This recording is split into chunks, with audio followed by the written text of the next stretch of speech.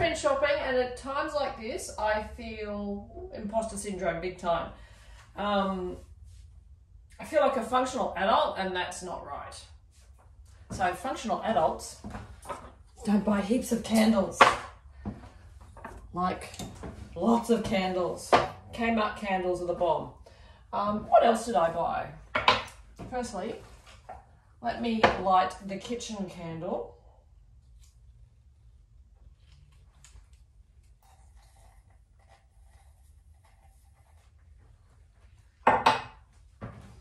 Alright, so I bought heaps of candles at Kmart. Oh, there's one that's espresso martini. Mm. Anyway, I had to buy some food. So, oh, we have some staples like corn thins. I love my corn thins. Also love my coffee syrup. So we got two caramel.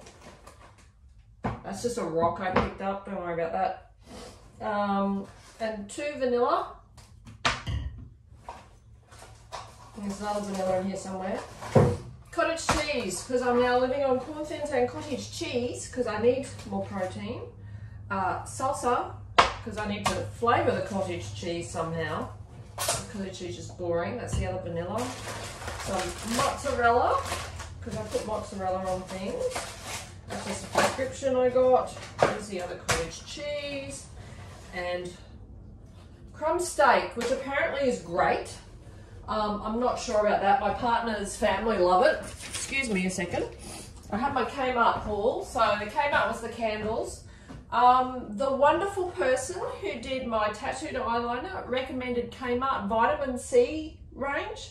Says it's the bomb. So I picked up the night moisturizer. This was $5.